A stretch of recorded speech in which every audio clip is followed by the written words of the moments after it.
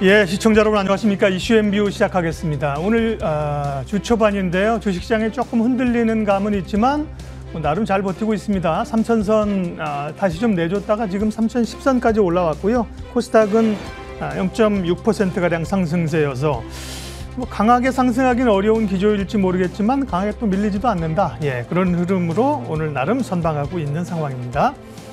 오늘 저희 시간에는요 어, 주간 증시 전략 세울 거고요. 또 시장의 핵심 테마들 보고요. 특별히 특집으로 중국의 여러 이슈들 리스크들이 계속 부각되고 있습니다. 아직까지 현재 진행형 아닙니까? 관련해서 아, 우리 경제 미치는 영향들 또 어떤 점을 봐야 되는지 전병소 교수님과 함께 오늘 특집으로 준비할 거니까요. 기대해 주십시오. 이슈 엠뷰 출발하겠습니다.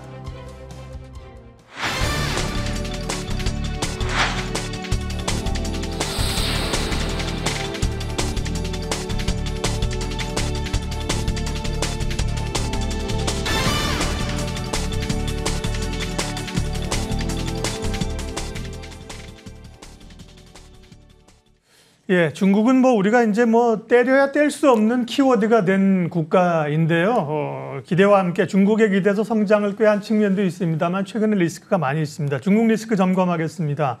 전병서 경희대 차이나 MBA 개건 교수와 함께합니다. 교수님 어서 오십시오. 네, 안녕하십니까? 네.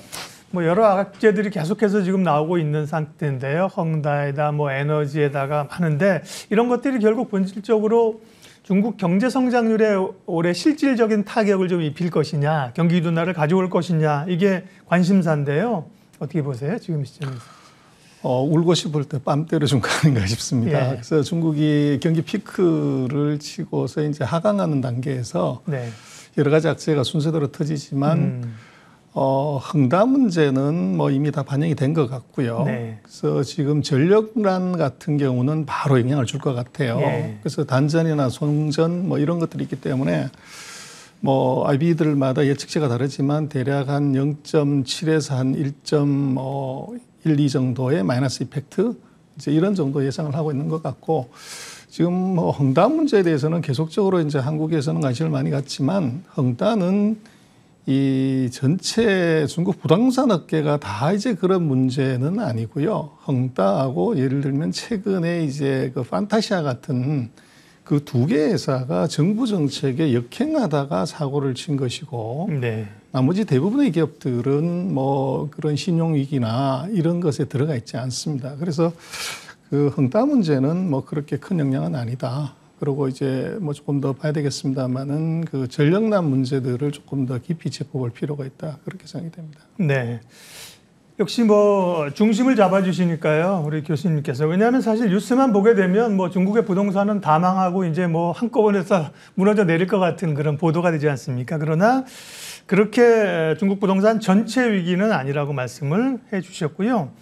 중국이 오늘 3분기 성장률을 발표했는데 혹시 자막은 준비가 안 돼 있나요? 네, 3분기 4.9% 성장으로 나왔습니다. 기대치는 예상치는 대략 한 5% 초중반이었던 것 같은데요. 시장 기대치를 조금 하회했다. 이것 때문에 우리 시장이 아침에 조금 눌려 있었는데요. 4.9%로 나왔습니다. 어쨌든 경기는 조금 둔화되는 상황입니다. 교수님, 오늘 이제 지금 교수님 3분기 성장률 나왔는데요. 당초에는 중국 경제 올해 뭐한 8% 성장 예측했는데 성장률 예측치는 좀 둔화되고 있는 거죠 지금?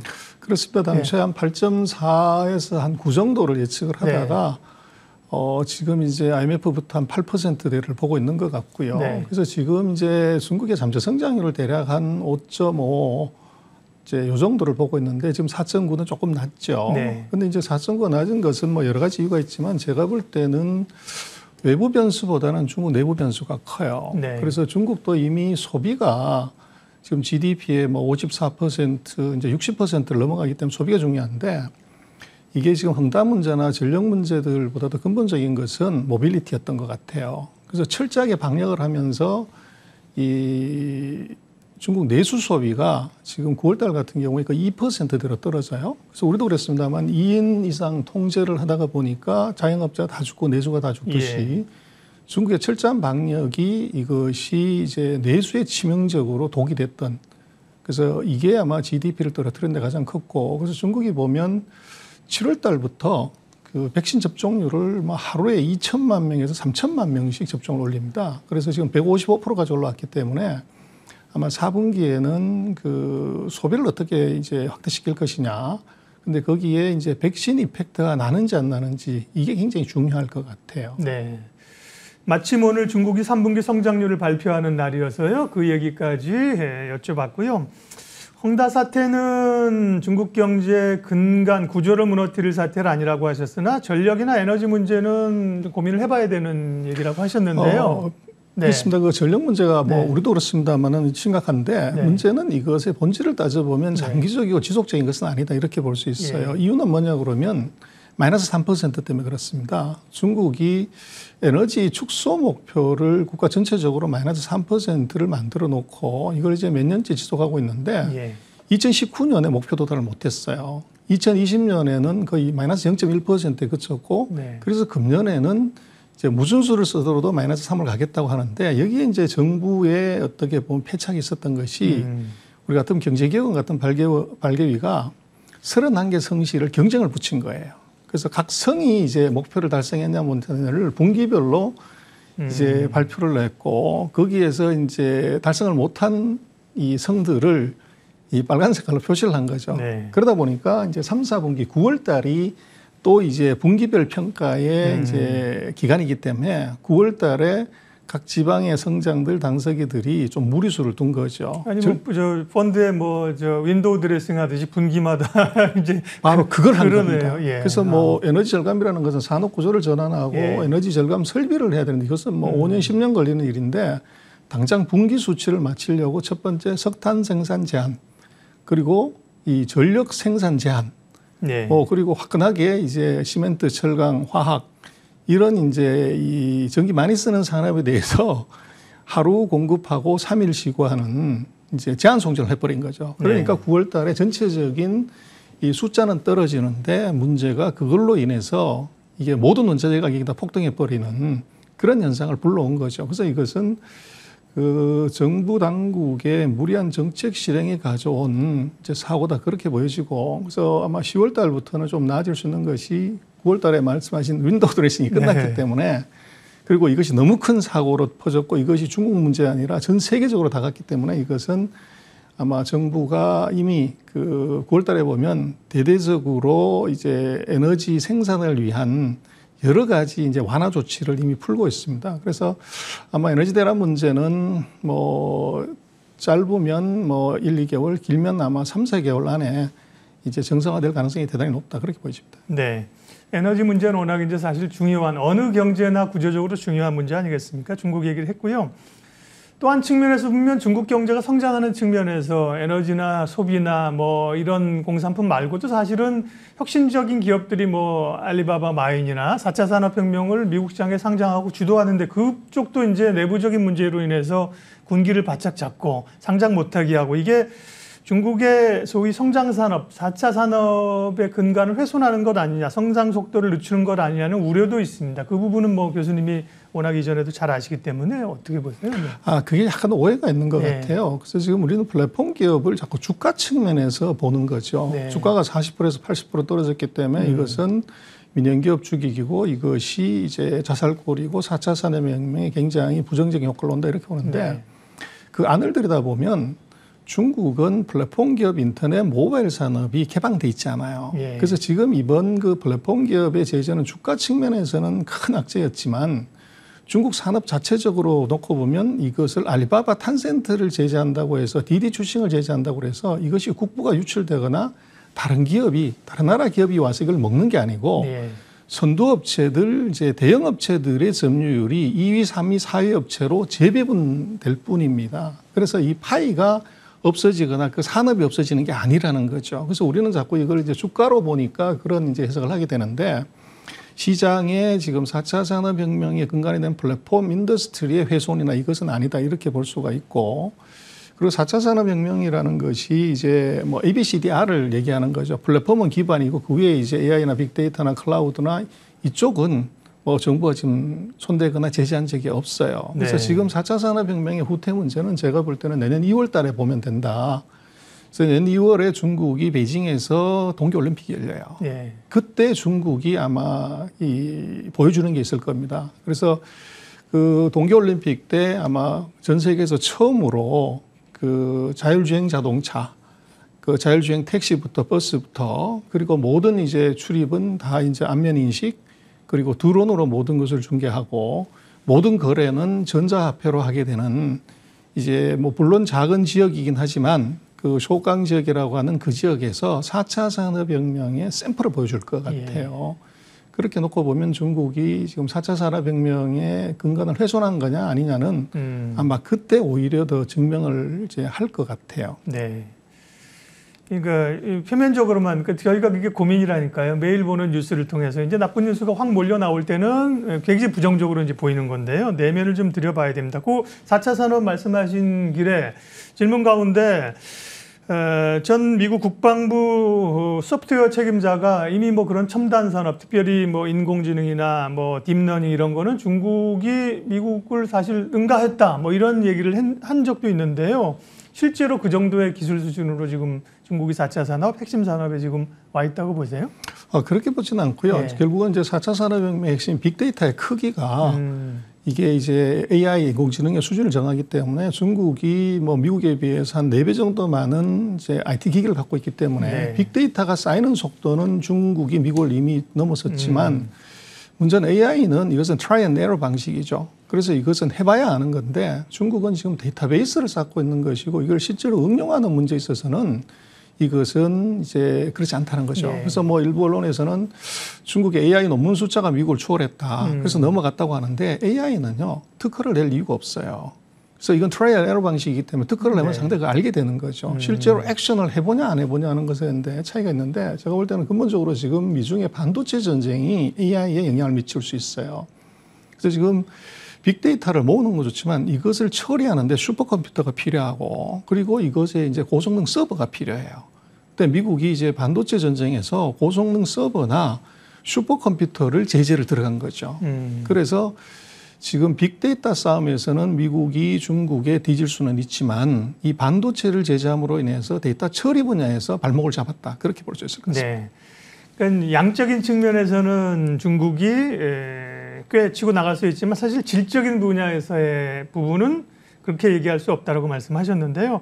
반도체 얘기 이제 하신 그래. 반도체가 사실 중국이 이제 반도체 굴기 이런 걸로 해서 뭐 국내 업체들도 인수하려고 하고 뭐 굉장히 가다가 마침 이제 코로나가 오고 미국의 견제가 인해서 좀 주춤합니다. 그런 측면에서 중국의 반도체 산업의 현황들은 어떤지 또 미중 간에 미국이 반도체 패권을 잡으려고 하는 이런 것들이 국내 기업에는 또 어떻게 영향을 미칠까요? 그래서 이제 우리가 조금 오해하는 것은 네. 중국이 반도체 blocking을 당해서 아무것도 못하고 있는 것 같은 느낌으로 보는데요. 네. 지금 중국의 반도체 업체들의 가동률이 거의 100% 가까운 가동률을 보이고 있어요. 음. 그래서 이건 어떤 의미냐 그러면 중국에 제재하는 반도체는 10나노 이하 첨단 부분만 제재하는 것이고 음. 그리고 제재도 화웨이라는 회사하고 이제 그 SMIC라고 하는 파운드리 회사 이 두 개를 제재하는 것이 그러니까 미국에서요? 그렇죠. 예. 나머지 회사는 제재 대상이 아니에요. 음. 그러다 보니까 지금 중국이 하고 있는 이제 예를 들면 노트북, 핸드폰, 디지털 TV, 뭐 자동차 여기 들어가는 칩들은 뭐 14나노 정도면 거의 다 해결이 되는 네. 그런 쪽이기 때문에 실제로 전 세계적으로 전 세계적으로 5나노 이하짜리 첨단 제품의 비중은 뭐 아직 5% TSMC 같은 경우도 전체적으로 보면 뭐 10%대밖에 되질 않아요. 그래서 이게 약간 오해가 있다는 거고. 음, 그래서 오히려 지금 우리 국내 차, 자동차 회사들 같은 경우는 그런 반도체가 없어서 못 만드는데 그런 건 오히려 뭐 중국 업체들이 더 자유롭네요, 그러면.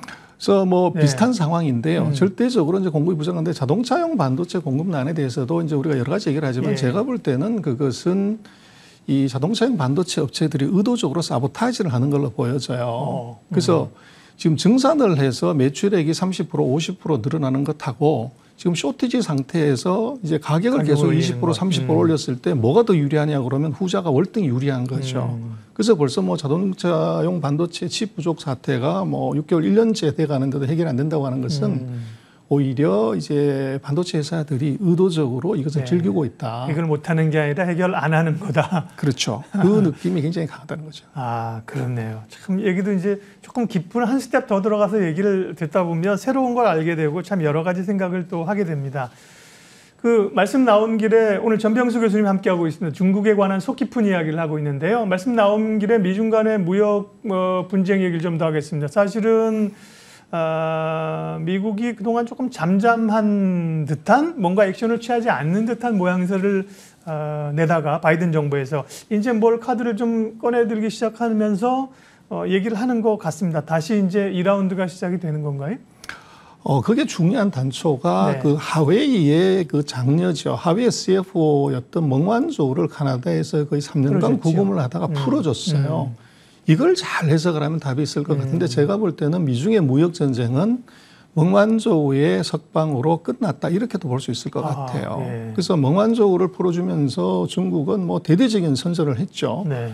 중국 외교의 승리다 뭐 이렇게 했지만 미국이 어떤 나라인가요? 그 멍만족을 왜 풀어줬겠냐? 거기는 제가 볼 때는 미중 무역 협상의 1단계 합의 2,400억 브로치를 구매해 주기로 했던 것을 이것을 중국이 아직 60%도 실행을 안 했고 금년도는 거의 40%도 실행 안 해서 목표치를 그래서 아마 제가 볼 땐 풀어주는 것에 이 반대 급부가 음, 이 있을 것이다.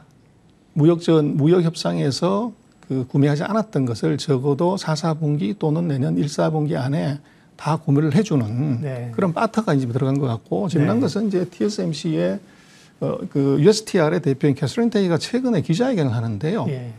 뭐 트럼프가 됐으면 육두문자 쓰고 난리를 쳤을 건데 네. 아무 코멘트가 없어요. 음, 1단계 무역 합의는 이런 정도가 있고 중국이 상관은 요 정도다. 그것만 딱 코멘트하고 끝났다는 거죠. 그래서 그렇게 놓고 보면 아마도 그 이면에는 이것이 이게 무역 합의에 대한 실행에 관한 이제 이면 협상이 있었던 것 같고 그렇게 놓고 보면 네. 이 중에 무역 협상보다는 아마 앞으로는 이제 기술 협상 쪽에 반도체 브로킹에 미국은 더 집중할 것이고 그것을 세게 누르면 세게 누를수록 중국은 그걸 피하기 위해서 무역에서 중국산, 미국산 제품을 많이 수입해 주는 그 효과를 노릴 수 있을 것 같아요. 그래서 이제는 무역 전쟁보다는 기술 전쟁의 관점에서 양국의 통상을 보는 것이 이제 답이 있는 것 아닌가 싶습니다. 네. 그렇게 보면 뭐, 이 바이든 행정부의 그 어, 브레인들이 그걸 다 알고 있는 거죠, 그죠? 그렇죠. 트럼- 예, 트럼프처럼 뭐 아각거리고 이제 뭐 콩도사죠, 뭐 이거 이, 이게 본 게임이 아니라는 걸 알고 있기 때문에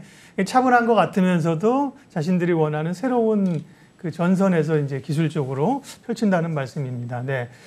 전병수 교수님이랑 함께 하고 있고요. 네. 쭉 여러 얘기들을 굉장히 많이 들었는데요. 음, 그러니까, 그러니까 사건 이면에 있는 얘기들을 많이 해주셨습니다. 사실 제가 궁금한 거는요, 교수님 오늘 정말 여쭙고 싶었던 거는 이런 모든 변화들이 사실은 중국은 올라가다 보면 정책 쪽에 맞닿는다. 그리고 그 위에 시진핑 주석이 있다. 네. 그러면서 시 주석의 사면인과 장기 집권 이런 정책의 변화들이 뭐 지금 분위기라면 내년 10월에서 이제 사면임을 갈 것 같은데 이게 이제 중국 리스크에 혹은 중국 성장에 얼마나 큰 변화와 위기 요인이 있느냐 사실 개인적으로 제일 궁금한 질문입니다. 그렇습니다. 그게 이제 우리도 뭐 가장 큰 관심사인데 결국은 답은 시진핑의 직권에 물어보지 말고 돈에게 물어보는 것이 답일 것 같아요. 아, 어떤 그래서? 돈이 어디로 네. 가냐를 봐야 되는데 우리는 이게 이제 시진핑의 삼기 집권이 굉장히 부정적으로 이제 많이 보게 되는데 네. 그 JP 모간 같은 이제 세계적인 IB가 중국에다가 100% 독자 법인을 내서 증권업 영업을 시작을 해요. 그리고 블랙락이나 이제 뱅가드 같은 전 세계 1, 2위 하는 자산 운용사들이 중국에 100% 독자 이제 법인을 내고 영업을 시작을 했다고요.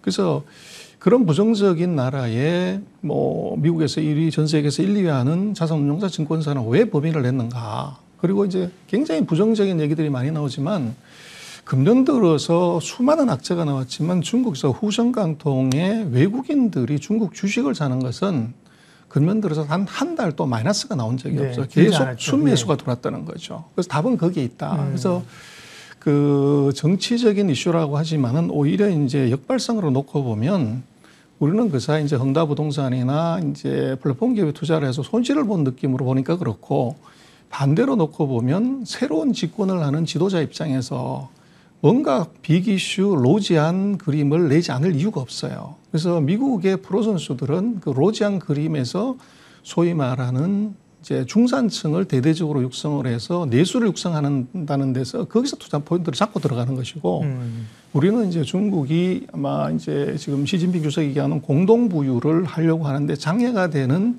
산업들을 제재하는 산업, 고산업에 집중해서다 보니까 예. 이제 관점이 달라지는 것 같고요. 그래서 그 제가 볼 때는 투자를 한다는 것은 이제 낙관적인 비율을 갖지 않으면 그래서 이제 돈을 먹기 어려운데 네. 이 시진핑의 상기 집권에서 벌어지는 긍정적인 이펙트, 국민에게 주는 이제 비전이나 희망이나 새로운 예. 이제 이 투자의 기회가 뭔지를 보는 것이 그게 중요할 것 같아요. 중요한 말씀이신데요. 저도 가지고 있던 궁금증이 저희가 사실 뭐 많은 투자자들이 뭐 국정원 직원도 아니고 외교 관계자도 아닌데 정치적으로 어떻게 되느냐 보다는 사실은 경제적인 투자가 관심이 있는 건데요. 돈의 입장에서 어, 대응을 하는 것이 중요하다는 말씀하셨고 마지막으로 우리 경제는 이제 중국 관련해서 어떻게 스탠스를 잡아야 돼요? 뭐 중국이 사실 여기서 확 무너지는 게 결코 우리에게 도움이 되지 않는 거고 다만 아, 산업적 측면에서 고민들은 좀 많이 되고요. 미중 간에 또 끼어 있는 전략적인 스탠스도 중요합니다. 우리 경제는 어떻게 대처해야 될까요?